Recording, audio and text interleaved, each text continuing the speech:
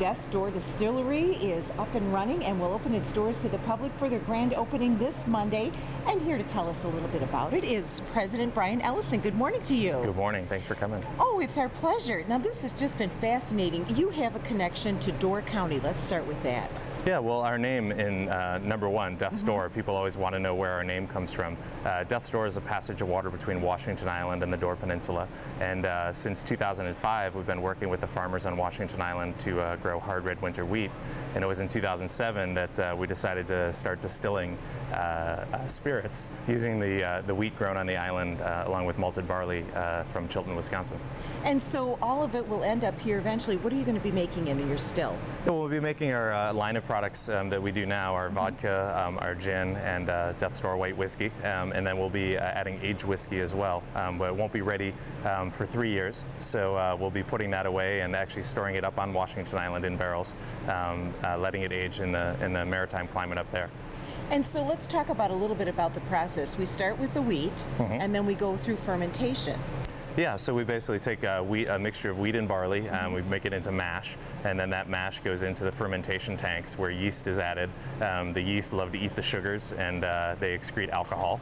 And then uh, when it ends up being about 8% alcohol by volume in the fermentation tanks, then we move it over to the stills, where um, distilling is a process that uh, uses the differential boiling point between water and alcohol. So uh, alcohol boils at 173 degrees, whereas water boils at 211. And so using the differential boiling points, we can extract out the alcohol through the still and allow the water to, to condensate and go back down into its original form, um, thus distilling and bringing alcohol um, for everybody so to enjoy.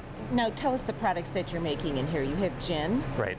And vodka. We have gin, vodka, and then a white whiskey. and then you'll be doing a white whiskey. And how long does the process take? Is it different for each product? Yeah, yeah. Each product takes a different amount of time. Um, the main thing, the fermentation, is what takes the longest amount of time. It takes us about five days in fermentation. Um, the distilling itself, then we have to run. Um, we go three times through the still. So the first distillation is just stripping.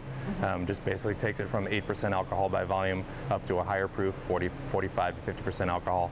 And then the final distillations are actually where we do our cuts, which bring out the bet. We we try to save the best portions of the alcohol, the hearts, uh, whereas the heads and the tails um, we dis- we uh, we discard. And it'll all be bottled right here too. Yes, we have a full packaging facility. We have an automated bottling line that's coming in that'll do 45 to 60 bottles a minute.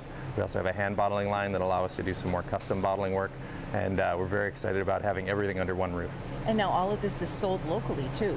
Yep, we're actually sold uh, locally um, throughout Wisconsin. Um, a lot of people don't realize we're in 38 states and three countries as Wow. well. So um, we're expanding our distribution and adding five more countries this year, as well as potentially being in all 50 states by the end of the year. And to think it all started with wheat from Washington Island and now um, coming to a head all here in Middleton. So the grand opening celebration is coming up on Monday here um, out on Eagle Drive at Death's Door Spirits. Come on out and meet Brian and learn a little bit more about distilling. Thanks so much. You're very welcome. Thanks a lot. I didn't sample anything there because they obviously aren't making anything yet, but it was just a fascinating time. Tim Elliott went with me and uh, learned all about the whole process of distilling. And can I just say, you looked ravishing in that hard hat. Rocking in the hard hat. It was better than the hairnet from the Jelly Belly factory. but go on out to um, Death's Door tomorrow is their big grand opening. Yep. And then after that, Brian said they'll be offering um, some tours that you plan ahead and explaining the whole process. They even have a complete lab. Their distiller um, majored in that, in food sciences, and they have a complete scientific lab because I didn't realize this. Um, quality control for distilling is all in the olfactory senses. So you have to be able to smell, and they'll explain all that to you as you're tasting too. I think I would need some more explanation behind that. Yeah, but I will definitely enjoy going back to uh, learn a little bit more. Sure, learn a little bit more.